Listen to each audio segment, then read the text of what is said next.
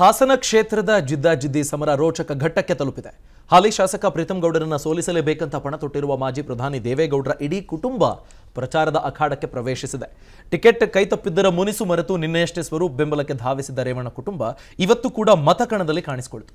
ಜೊತೆಗೆ ಮಾಜಿ ಸಿಎಂ ಕುಮಾರಸ್ವಾಮಿ, ಮಾಜಿ ಪ್ರಧಾನಿ ದೇವೇಗೌಡರು ಸ್ವರೂಪ ಪರ ಪ್ರಚಾರ ರ್ಯಾಲಿಯಲ್ಲಿ ಭಾಗಿಯಾಗಿ ಬಲ ಪ್ರದರ್ಶಿಸಿದರು. ಇಪ್ಪತ್ತೈದು ಸಾವಿರಕ್ಕೂ ಅಧಿಕ ಕಾರ್ಯಕರ್ತರು ಬೆಂಬಲಿಗರು ರ್ಯಾಲಿಯಲ್ಲಿ ಭಾಗಿಯಾಗಿದ್ದರು ಚಿತ್ರದಲ್ಲಿ ಕುಮಾರಸ್ವಾಮಿ ಅವರು ಬೇಲೂರಿನಲ್ಲಿ ನಮ್ಮ ಲಿಂಗೇಶ್ ಅವರು ಇವರು ಎಲ್ಲರ ಚನ್ನರಾಯಪಟ್ಟಣದಲ್ಲಿ ನಮ್ಮ ಪುಟ್ಟ ಬಾಲಣ್ಣ ಅವರು, ಇವರೆಲ್ಲರ ಒಂದು ಚುನಾವಣೆಯಲ್ಲಿ ಗೆಲುವಿಗೆ ಹಾಸನ ಜಿಲ್ಲೆಯ ಜನತೆ ಆಶೀರ್ವಾದ ಮಾಡಿ ರೇವಣ್ಣ ಅವರು ಪುನಃ ಈ ನಾಡಿನಲ್ಲಿ ಈ ಒಂದು ಜಿಲ್ಲೆಯ ಸಮಗ್ರ ಅಭಿವೃದ್ಧಿ, ನಾಡಿನ ಅಭಿವೃದ್ಧಿಯನ್ನು ಮಾಡಲಿಕ್ಕೆ ನಿಮ್ಮೆಲ್ಲರ ಒಂದು ಸಹಕಾರವನ್ನ ಈ ಸಂದರ್ಭದಲ್ಲಿ ನೀಡಿ ಇನ್ನು ಪುತ್ರ ಕುಮಾರಸ್ವಾಮಿಯನ್ನ ಮುಖ್ಯಮಂತ್ರಿ ಮಾಡೋ ನಿಟ್ಟಿನಲ್ಲಿ ಮಾಜಿ ಪ್ರಧಾನಿ ದೇವೇಗೌಡರು ದೇವರ ಮೊರೆ ಹೋಗಿದ್ದಾರೆ. ಅಮಾವಾಸ್ಯೆ ಹಿನ್ನೆಲೆಯಲ್ಲಿ ಇಂದು ಶ್ರೀ ಕ್ಷೇತ್ರ ಆದಿಚುಂಚನಗಿರಿಗೆ ಭೇಟಿ ನೀಡಿದ್ದ ಅವರು, ಕಾಲಭೈರವನ ಸನ್ನಿಧಾನದಲ್ಲಿ ಹದಿನೈದು ನಿಮಿಷಕ್ಕೂ ಹೆಚ್ಚು ಕಾಲ ಪೂಜೆ ಸಲ್ಲಿಸಿದರು. ಮಾಜಿ ಸಚಿವ ರೇವಣ್ಣ ಕೂಡ ಪೂಜೆಯಲ್ಲಿ ಭಾಗಿಯಾಗಿದ್ದರು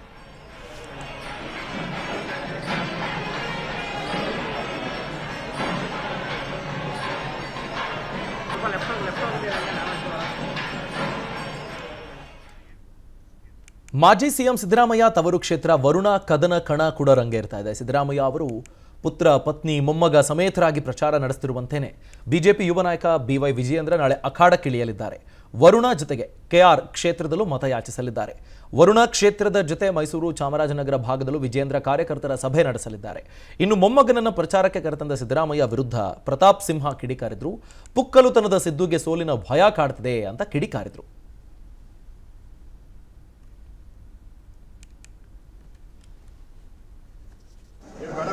ನಿಮ್ಮ ಮೊಮ್ಮಗನಿಗೆ ಇನ್ನೂ ಕೂಡ ವೋಟಿಂಗ್ ಏಜೇ ಬಂದಿಲ್ಲ.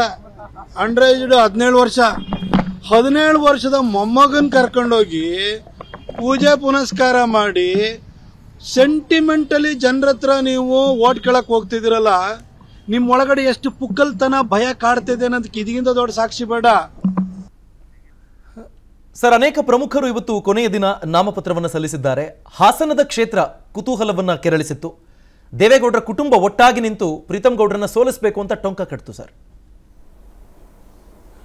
ಹಾಸನದಲ್ಲಿ ನೋಡಿ, ಹಾಸನದಲ್ಲಿ, ಹಾಸನ ನಗರ ಒಂದು ಬಿಟ್ಟು ಕಳೆದ ವಿಧಾನಸಭಾ ಚುನಾವಣೆಯಲ್ಲಿ ಎರಡು ಸಾವಿರದ ಹದಿನೆಂಟರಲ್ಲಿ ಬೇರೆಲ್ಲ ಕ್ಷೇತ್ರಗಳನ್ನು ಜೆ ಡಿ ಎಸ್ ಗೆದ್ದುಕೊಂಡಿತ್ತು.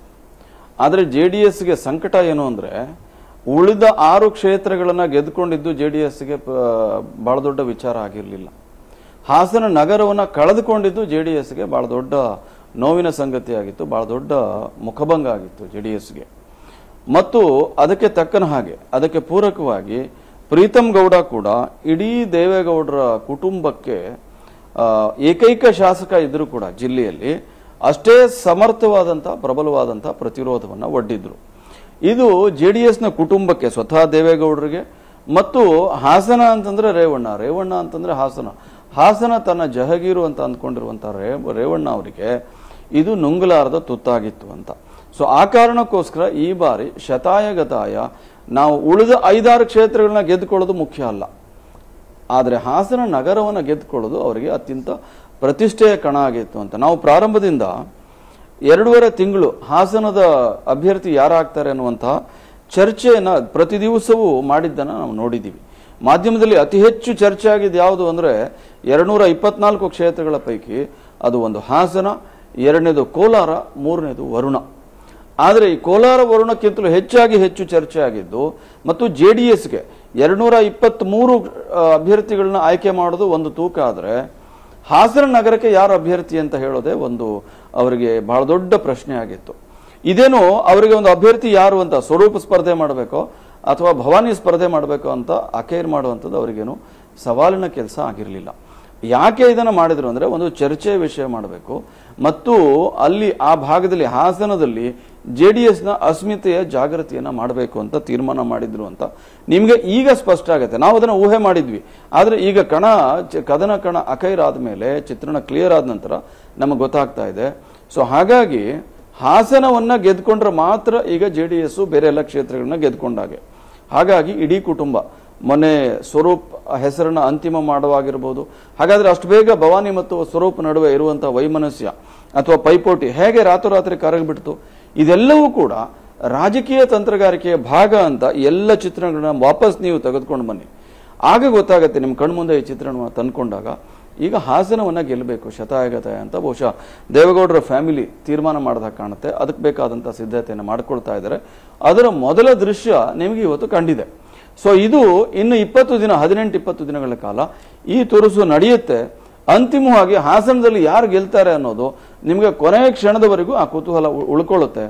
ಉಳಿದ ಕ್ಷೇತ್ರಗಳಲ್ಲಿ ಅಲ್ಲಿ ಜೆ ಡಿ ಎಸ್ ಸಹಜವಾಗಿ ಗೆದ್ಕೊಳ್ಬಹುದು ಆದರೆ ಹಾಸನವನ್ನು ಗೆದ್ದರೆ ಮಾತ್ರ ಜೆ ಡಿ ಎಸ್ಗೆ ಗೆದ್ದ ಹಾಗೆ. ಈ ತೀರ್ಮಾನ ಮಾಡೋದು ಸ್ಪಷ್ಟ. ಅದಕ್ಕೋಸ್ಕರ ಇವತ್ತು ನಿಮಗೆ ಇಡೀ ದೇವೇಗೌಡರ ಕುಟುಂಬ, ಎಲ್ಲರೂ ಕೂಡ ಹಾಸನದಲ್ಲಿ ಪ್ರಚಾರದ ಕಣಕ್ಕೆ ಏಕಾಏಕಿ ಧುಮುಕಿರೋದು ನಿಮಗೆ ಕಂಡು ಬರ್ತಾ ಇದೆ ಇವತ್ತು. ಅಭಿಷೇಕ್.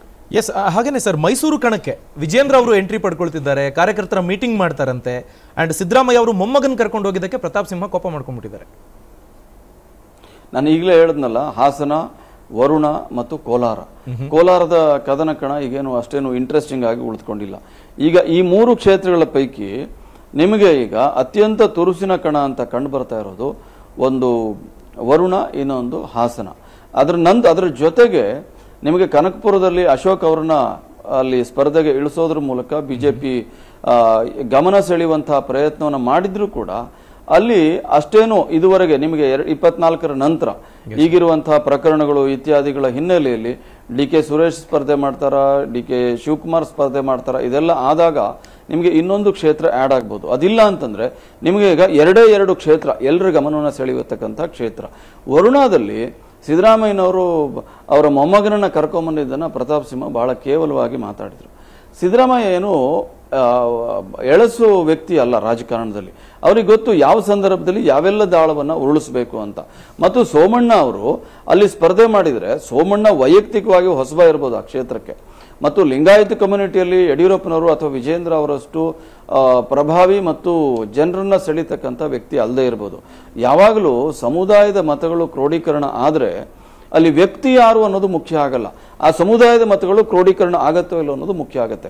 ಹಾಗಾಗಿ ಲಿಂಗಾಯತರು ಮತ್ತು ಬ್ಯಾಕ್ವರ್ಡ್ ಕಮ್ಯುನಿಟಿ, ವಿಶೇಷವಾಗಿ ಎಸ್ ಸಿ ಸಮುದಾಯ ಎಸ್ ಸಿ ಸಮುದಾಯದಲ್ಲಿ ಎಡಗೈ ಸಮುದಾಯ, ಆ ವರುಣ ಕ್ಷೇತ್ರದಲ್ಲಿ ನಿರ್ಣಾಯಕ ಮತದಾರರ ಆಗಿರೋದ್ರಿಂದ ಶ್ರೀನಿವಾಸ್ ಪ್ರಸಾದ್ ಮತ್ತು ಸೋಮಣ್ಣ ಅವರು, ಅವರ ಜೊತೆಗೆ ವಿಜೇಂದ್ರ ಅವರು. ವಿಜೇಂದ್ರ ಅವರಿಗೆ ಅವರದೇ ಆದಂತಹ ಒಂದು ಪ್ರಭಾವ ಆ ಕ್ಷೇತ್ರದಲ್ಲಿ ಇದೆ. ಮ- ಅಲ್ಲಿ ಮೈಸೂರು ಭಾಗದ, ಮೈಸೂರು, ಮಂಡ್ಯ ಮತ್ತು ಚಾಮರಾಜನಗರ ಭಾಗದಲ್ಲಿರ್ತಕ್ಕಂಥ ವಿಶೇಷವಾಗಿ ಲಿಂಗಾಯತ ಸಮುದಾಯದ ಮೇಲೆ ಅವರಿಗಿರುವಂತಹ ಪ್ರಭಾವವನ್ನು ಕಳೆದ ವಿಧಾನಸಭಾ ಚುನಾವಣೆ ಸಂದರ್ಭದಲ್ಲಿ ನಾವು ನೋಡಿದ್ದೀವಿ ಸುಲಭವಾಗಿಲ್ಲ ಅಂತಂದರೆ ಕೆ ಆರ್ ಪೇಟೆ ಕ್ಷೇತ್ರವನ್ನು ಯಾರು ಕೂಡ ಇಷ್ಟೊಂದು ಮಾರ್ಜಿನಲ್ಲಿ ಬಿ ಜೆ ಪಿ ಗೆದ್ಕೊಳ್ಳುತ್ತೆ ಬೈ ಎಲೆಕ್ಷನ್ ಅಂತ ನಿರೀಕ್ಷೆ ಮಾಡಿರಲಿಲ್ಲ.